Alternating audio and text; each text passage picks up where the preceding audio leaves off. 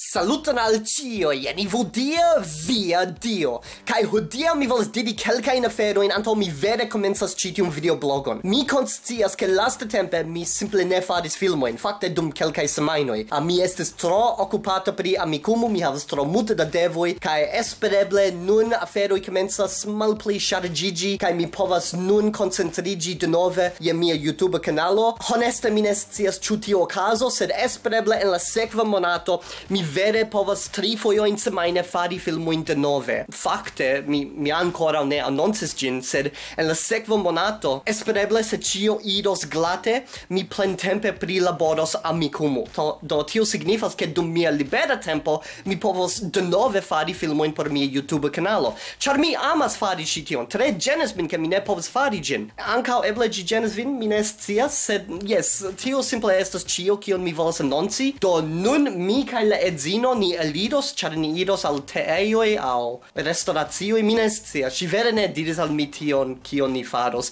Ŝi simple diris ke dimanĉon vi devas esti libera, ĉar ni elidos kaj mi diris oh, eh, bone, do ni faru tion nun. Ankaŭ mi volas montri ion al vi. Do lastatempe ĉi tiu esperantisto Alex fakte sendis al mi du librojn, uh, Esperanto librojn. Uh, fakte ĉi tio estas en Esperanto kaj en la angla. Mi montros iomete poste. Tio kompreneble tre feliĉigas min, ĉar mi ne havas havas tiu multe da Esperanto librojn. Uh, ah, do ĉi tio estas Marvirin strato. Uh, mi legis iu mete temas pri orfiŝeto kiu sekvas iun por trovi glacion ĉe la polusoj. Uh, kaj ĉi tiu libro kompreneble temas pri tio. Vi povas facile legi ĝin. Um, kaj estas interese fakte, ĉar ci tiu libro, la unua duono estas en la angla kaj la dua duono estas en Esperanto. Mi kredas ke ĝi estas bona reklamilo, ĉar vi povas doni ĝin al la infanoj kaj ili povas legi ĝin la anglan pardon kaj poste eble ili eĉ demandos kiu estas eh, ĉi tiu alia lingvo kiu troviĝas en la duona parto de la libro. Do mi simple volas montri tion. Eh, verŝajne vi povas aĉeti ĉi tion ie ĉe Amazon aŭ ie tie mi ne scias. Se mi trovos ligilon poste mi metos en la priskribon. Do mi volas eliri sed la edzino ankoraŭ bezonas tempon por prepari sin do mi simple volas montri ion alian al vi nun. Do lasta tempe mi komencis studi kiel skribi la ĉinajn signojn do mi aĉetis ĉi tiun libron. Ĝi tre placas al mi sed estas unu gravega problemo pri ĝi kaj mi eltrovis nur poste. Do mi montros ĝin al vi nun. Do vi povas vidi la signojn ĉi tie kaj kaj tio estas bona ĉar mi povas studi la historion de la signoj kaj tiam lerni kiel skribi ilin, sed estas problemo. Mi ne sciis antaŭe se ĉi tiu libro fakte miksas tradiciajn signojn kun um, simpligitajn signojn, kiuj estas la la novaj signoj uzataj en Ĉinio mem. Uh, kaj ĝi ne vere indikis tion. Do mi lernis kiel skribi multajn signojn kaj poste mi montris ilin al mia edzino kaj ŝi diris kiel vi skribas tradiciajn signojn kaj mi pensas, "Ah, uh, ĉu mi mi pensas ke mi lernis kiel skribi simple simpligita in signo in nun mi esas in stranga pozicio ki e duono de la signoi kiun mi conas, estas tradiziai signo Uh, ah, mi ne scias ĉu tio estas malbona afero, mi simple devas nun lerni la simpligita in de tiu signo kaj ne vere estas tio multe da diferenco sed ĉiam estas malfacile relerni ion kiam vi jam lernis ĝin, do tio tre ĝenas min, sed estas amuzaĵo. Do ni jus alvenis al North Stratfield, gi estas la loco kie trovigas la restauratio, sed ni ancora ne scias ĉu gi estas malferma, ĉar ni estas horon malfrue pro tiu ino. Do kiel vi povas vidi, ni jam alvenis al la loco, gi estas tre luxa, la seĝoj, la tabloj, ĉio estas ege luxa. Gi memorigas min pri Britoj, ĉar Britoj ĉiam trinkas kaj manĝas en ĉi tiuj tre luksaj lokoj, ĉu ne? Do nia mangetto jus alvenis. Ni havas kuketojn, sandviĉojn, fructoin, tio estas banano. Ja, estas uh, sufiĉe belaspekta, mi supozas. Kaj kompreneble la edzino devas foti ĝin. Ŝi ĉiam devas foti ĉion. Do ni jus formanĝis la plejparton de ĝi.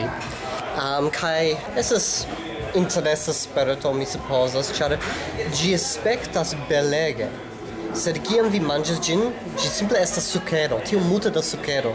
Fakte post kvin minutojn mi simple sidas ĉi tie kaj pensas, fek, mi manĝis tio multe da sukero ke mi ne plu volas manĝi sukeron. Mi eĉ iomete naŭzas pro tio, do estas tre stranga sento.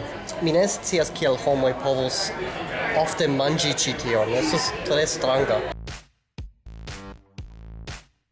Do mi nun estas je la fino de la nokto. Fakte mi jam duŝis min kaj ŝanĝis miajn vestaĵojn. Eble vi povas vidi ke mi nun portas tre freŝajn vestaĵojn. Mi scias ke estas iom strange ke mi surmetus tiajn vestaĵojn en mezo de la nokto, sed efektive mi havas aliajn aferojn kiun mi devas fari poste, mi ne priparolos tion nun. Do mi simple volas diri kelkajn aferojn antaŭ mi finos ĉi tiun videoblogon.